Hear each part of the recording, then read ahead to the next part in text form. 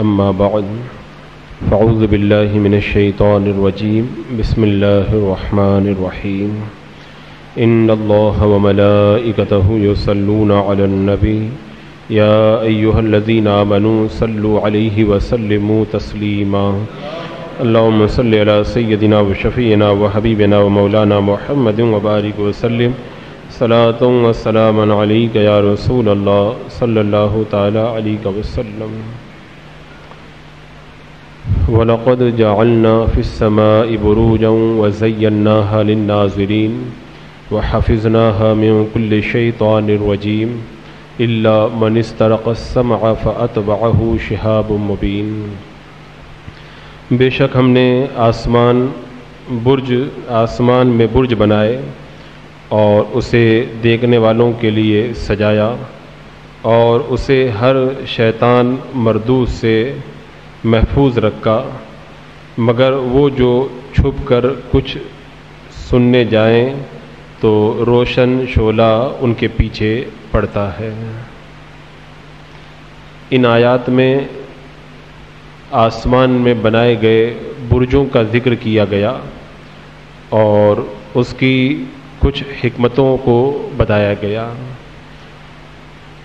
आसमान में जो बुर्ज हैं वो बारह हैं और उनके नाम भी मुख्तलिफ़ हैं। मिसाल के तौर पर किसी बुर्ज का नाम असद है, किसी बुर्ज का नाम अकरब है, कोई कौस के नाम से है, कोई हूद के नाम से है, कोई जोजा के नाम से है, किसी का नाम मीज़ान है, किसी का नाम हमल है। तो ये अलग अलग नामों के बारह बुर्ज हैं और ये बुर्ज तो बड़े मशहूर हैं। आप हजरात जो अखबार देखते हैं, आजकल अखबार में राशि के नाम से दिया रहता है, कहीं बिच्छू बना रहता है और कहीं शेर बना रहता है, किसी जगह तीर और कमान बने रहते हैं, कहीं केकड़ा बना रहता है, कहीं तराजू बना रहता है तो कहीं मछली बनी रहती है तो ये अलग अलग बने रहते हैं और लिखा रहता है कि आज का आपका राशि ये है, आज आपका राशि फल ये है। इस तरह आजकल अखबार में भी ये बुर्जों का तस्करा उमूमन रोज़ाना आता है।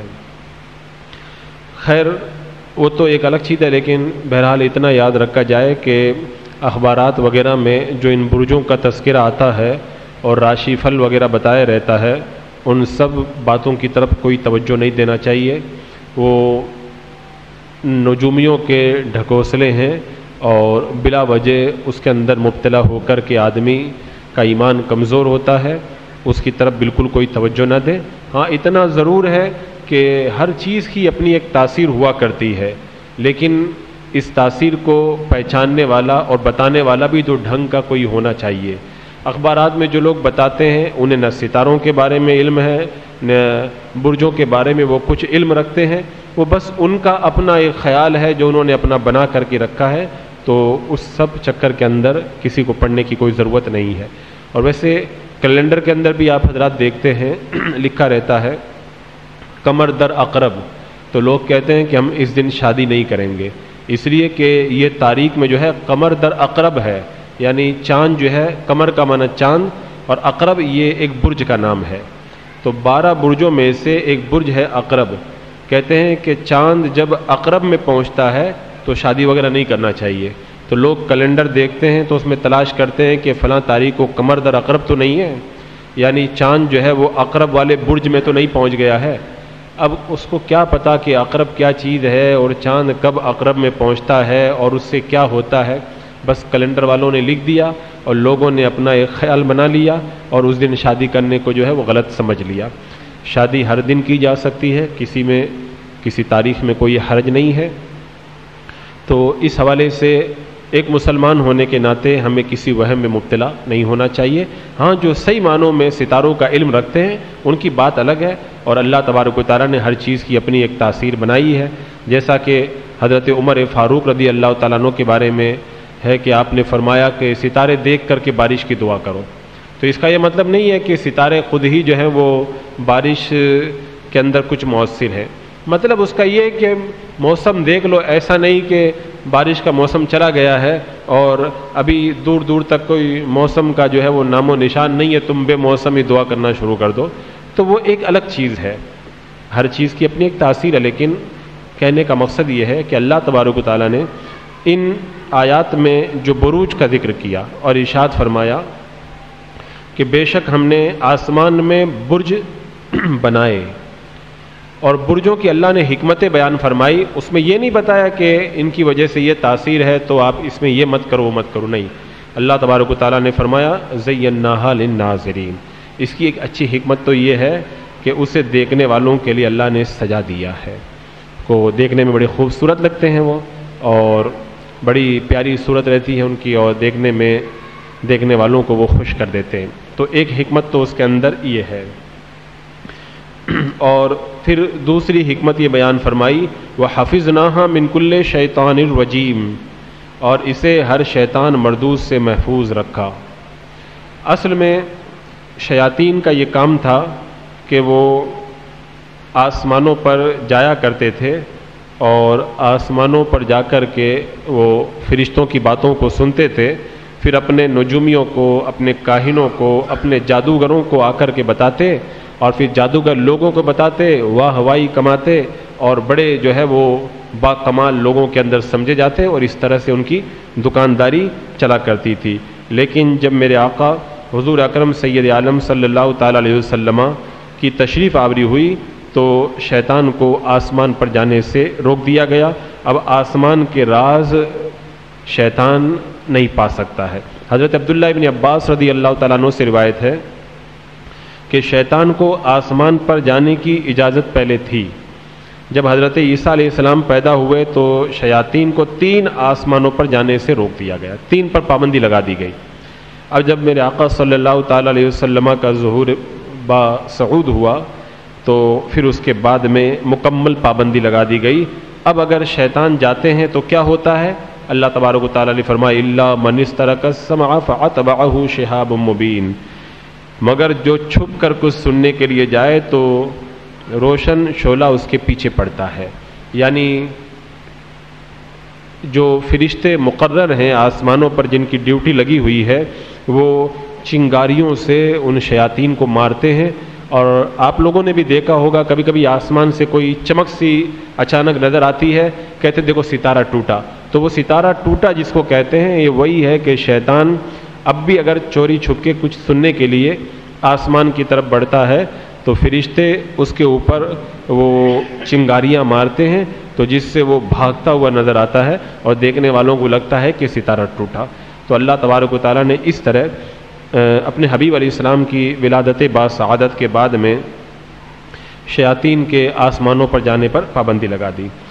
तो शयातीन को जो मारा जाता है, उन चिंगारियों से मारा जाता है तो बाद शैतानों के चेहरे जल जाते हैं, किसी का माथा जल जाता है, किसी के हाथ जल जाते हैं और कुछ चिंगारियों से उन शयातीन की अकलें मारी जाती हैं। तो इसी वजह से जो है वो आसमान पर दोबारा जाने का नाम नहीं लेते हैं और वहाँ से दूर ही रहते हैं। वरना पहले तो फरिश्ते जो गैब की बातें करते थे और जो होने वाला उसके हवाले से गुफ्तु करते थे, सुनकर के आते थे। और आकर के फिर उसके बाद में बहुत बड़े बनते थे कि ये फ़लाँ जिन ने ये बता दिया, उसको इतना इल्म है, उसको इतना इल्म है। अल्लाह तबारक ताली ने उन सब का दरवाज़ा उनके लिए बंद फरमा दिया। यहाँ पे जो ये इरशाद फरमाया, मिन कुल्ले शैतान वजीम हर शैतान मरदूस से महफूज रखा। शैतान मरदूस से हमें पना मांगने का हुक्म दिया गया। अब यहाँ पर ओलमा ने फरमाया कि क्या पना सिर्फ़ शैतान ही से होती है या हमजाज से भी होती है? तो इसमें ओलमा का इख्तलाफ है। सही यही है कि इंसान के लिए उसका हमजाद भी एक तरह से शैतान ही वो भी। तो उससे भी पना मांगी जाती है। अल्लाह तबारक ताली ने कुरान पाक में रिशाद फरमाया, वमन याशुअन ज़िक्र रहमान नुक़ैद लहू शैतान फ़हुलहू करीन। जो भी अल्लाह ताला के ज़िक्र से रूगर्दानी करेगा, हम उसके ऊपर शैतान मुसलत कर देंगे। वही उसका साथी रहेगा। तो हर इंसान के साथ में एक हमजाद होता है, वही शैतान। जैसे एक फरिश्ता रहता है, वो हमें नेकी की तरगीब देता है, इसी तरह एक शैतान रहता है हमजाद की शक्ल में। वो हमारा करीन रहता है और हमें गुना और बुराई की तरफ़ लेकर के जाता है। अल्लाह के रसूल सल्लल्लाहु अलैहि वसल्लम के हवाले से ये उम्मत का इत्तफ़ाक़ है इस बात पर कि ये शैतान जो है अल्लाह के रसूल सलाम को कभी भी बुराई की तरफ़ ले जाने की ताकत नहीं रखता, बल्कि अल्लाह के रसूल सलाम ने इशाद फरमाया कि अल्लाह ने मेरी मदद फरमाई और मेरे साथ में जो शैतान था वो मुसलमान हो गया वो। यानी मेरा अकल इस्लाम की बरकत ये कि सारी दुनिया के इंसानों के साथ में शैतान रहता है ज़िंदगी भर उनको बहकाने का काम करता है, लेकिन मेरे आका की सोबत में जो शैतान रहा, अल्लाह ने उसको भी ईमान की दौलत अता फरमा दी। और अब एक सवाल ये है कि अल्लाह के रसूल सलाम भी क्या शैतान से महफूज रहने के लिए पनाह मांगते थे? तो इस हवाले से, रिवायतों से मिलता है कि आपने भी शैतान से पनाह मांगी। तो शैतान तो जो आपके साथ में रहता था, वो तो मुसलमान हो गया। और उसके अलावा बाकी जो शयातीन थे, उनका बस आप पर नहीं चलता था। फिर आपने पनाह क्यों मांगी? तो ओलमा बयान फरमाते हैं कि एक वजह उसकी यह है कि ताकि उम्मत को पनाह मांगने का तरीका सिखाया जाए। अल्लाह के रसूल सलाम का तरीका, उम्मत उस पर अमल करे तो मेरा आका इस्लाम ने शैतान से पनाह मांगी, अल्लाह की रहमत में पनाह ली ताकि उम्मत भी इन हदीसों को सुने और शैतान से जो है वो पनाह मांगे। क्योंकि शयातीन के जो वसवसे रहते हैं, वो बड़े ख़तरनाक किस्म के रहते हैं। हदीस पाक में आता है कि इबलीस का तख्त बहरे अहमर के ऊपर मौजूद है और उसके गिरोह और उसके जो लश्कर रहते हैं, वो उसके साथ में रहते हैं। और उसके लश्कर में जो सबसे बड़ा बदमाश होता है, वो उसे सबसे ज़्यादा प्यारा लगता है वो। और हर सुबह शाम को वो हर शैतान की कार्रवाई मालूम करता है, दिन भर तुमने क्या काम किया। और ख़ुद इबलीस जो है, बहुत बड़े उमूर के सिवा कभी भी अपने तख्त को छोड़ करके कहीं नहीं जाता है। वो खुद वहीं पे रहता है, उसके चेले चपाटे जो रहते हैं, वो ये सारे काम करते हैं। और मैंने इससे पहले ये रिवायत आपके सामने रखी थी शाहबुल हुसैन नूरी रहमत ताली के हवाले से, कि दो ऐसे अहम मौके रहते हैं कि शैतान खुद तक छोड़ करके आ जाता है। एक तो जब कोई बंदा अल्लाह के वली बनने के करीब पहुँच जाता है, तब वो खुद बहकाने के लिए आ जाता है। और एक बंदा जब मरने के करीब होता है तो ईमान से उसको हटाने के लिए शैतान खुद आ जाता है। वरना आमतौर पर वज़ू में बहकाने के लिए नमाज़ में बहकाने के लिए, मियाँ बीबी को लड़ाने के लिए, बाज़ार में गाली दिलवाने के लिए और जो कारोबार करते वक्त झूठ बुलवाने के लिए, ये सब काम वो छोटे मोटे काम वो नहीं करता, ये सब काम उसके चेले करते हैं। तो इसलिए अल्लाह के रसूल सलाम ने शैतान से पना मांगी ताकि उम्मत इनको सुन करके शैतान से पना मांगा करें। और मेरा आका इस्लाम की शान तो बड़ी बुलंद है। मेरा आका इस्लाम की उम्मत में भी बहुत से ऐसे लोग हैं जिनसे शैतान खुद डरता है। और जो है वो वो उनसे उनसे भागता हुआ नज़र आता है। और एक वजह उसकी ये भी बयान की गई कि मेरे आका सलाम ने शैतान से पना मांगी। क्यों? इसलिए कि अल्लाह ने हुक्म दिया पना मांगने का, अल्लाह के हुक्म के ऊपर अमल हो जाए। तो इसलिए भी आपने ऐसा किया। और यहाँ पर साहिब रुल बयान ने एक रिवायत ये नकल फरमाई और फरमाते हैं कि शैतान इबलीस और उसकी औलाद अल्लाह के रसूल सलाम के करीब भी नहीं जा सकती। उसकी वजह यह है कि अगर वो आपके करीब में जाते हैं तो आपके नूर से वो जल कर के राख हो जाते हैं वो। अल्लाह के रसूल सलाम की नूरानियत के सामने वो लोग ठहर नहीं पाते। और हर शैतान से पना मांगना चाहिए, चाहे वो तकलीफ़ पहुँचाए या तकलीफ़ ना पहुँचाए, क्योंकि शैतान की घुट्टी के अंदर इंसानों की दुश्मनी पिलाई हुई है। वो कभी भी इंसान का दोस्त हो ही नहीं सकता है। कुछ शैतान ऐसे रहते हैं, इंसानों के दोस्त बन जाते हैं, उनके काम करते हैं, पैसा ला करके देते हैं, बहुत कुछ करते हैं, लेकिन वो सिर्फ़ दिखाने की दोस्ती है शैतान और इंसान का दोस्त बन जाए, ऐसा कभी भी नहीं हो सकता है। तो इसलिए हमेशा उनसे होशियार रहना चाहिए और जादूगर वगैरह जो उनसे काम लेते हैं और कुफरियात करके उनसे काम लेना शुरू कर देते हैं वो समझते हैं कि हमारा काम बनना, उनका काम बन नहीं रहा, वो शैतान उनका काम बिगाड़ देते हैं। सबसे बड़ी बात यह है कि उन्हें ईमान से हटा देते हैं और अगर कुफर में मुबतला हैं तो ईमान के करीब उनको आने भी नहीं देते हैं वो। और यहाँ पर एक बड़ी प्यारी बात साहिब तफसी ने बयान फरमाई कि शैतान का काम गुमराह करना, सारी ज़मीन पे वो निगाहें रखता है, कहाँ क्या करना है और किसको क्या वसवसा डालना है और उसके हथकंडे, बड़े बड़े सख्त हथकंडे हैं उसके। बंदा जो है उसके हथकंडों को समझ जाए, ये बहुत मुश्किल काम है। इंसान अगर एक रास्ता बंद करता है तो दूसरे रास्ते को इख्तियार करता है। वो दूसरा रास्ता बंद करता है, तीसरा रास्ता वो इख्तियार कर लेता है। पीछा नहीं छोड़ता है वो। तो जब शैतान को इतनी ताकत है तो मेरे आका सल्लल्लाहु अलैहि वसल्लम शैतान की राहों में रुकावट पैदा करने के लिए और हक की तरफ़ बुलाने के लिए आए थे तो साहिब तफसीर फरमाते हैं कि अल्लाह ने फिर अपने हबीब को कितनी ताकत और कुत अता फरमाई होगी। इसका अंदाज़ा इस बात से लगाया जा सकता है। वो जब हर वक्त इंसानों को देख रहा है तो जो बहकाने के लिए आया, उसकी नज़र इतनी तेज़ है तो जो नबी शैतान से बचाने के लिए आए हैं, उस नबी की नज़र कितनी तेज़ होगी। वो हर वक्त अपनी उम्मत को किस तरह देखते होंगे।